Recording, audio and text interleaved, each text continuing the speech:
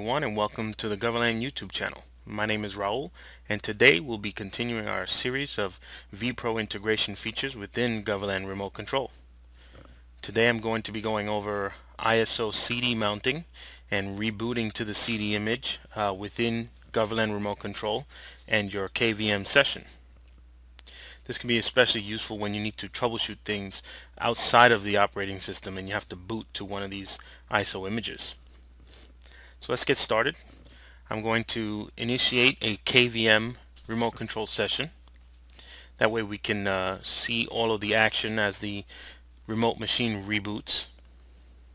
I'm going to select our vPro machine here and now we're in our KVM session. You can tell by the flashing cursor here in the upper right corner. I'm going to select login prompt and power options.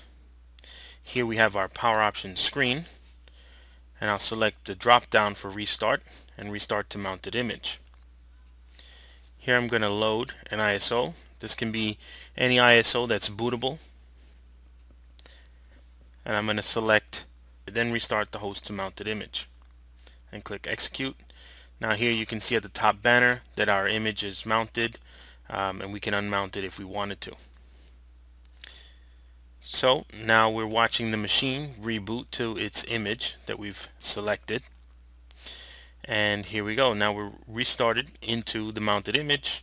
We can do whatever uh, we needed to do within without whatever image you mounted. There are several different types of images that you can load. Um, you can load some that uh, will start off an operating system deployment sequence or any other utility such as antivirus scanning and so on. Um, so now we are actually working within this ISO image here. Now we're going to go back to power options and restart to Windows. So I'm going to select restart and click yes to confirm and close. Now the machine is rebooting back to Windows. Uh, Windows is going to be a little bit angry because that was a hard power off so we'll select start Windows normally. And now Windows is booting. So this feature can be used in uh, so many different ways. Um, as long as you're creative about what ISOs that you're mounting uh, you can actually restart to them and do a whole number of administrative tasks. So now Windows is loaded again. And that's it. So thank you for watching.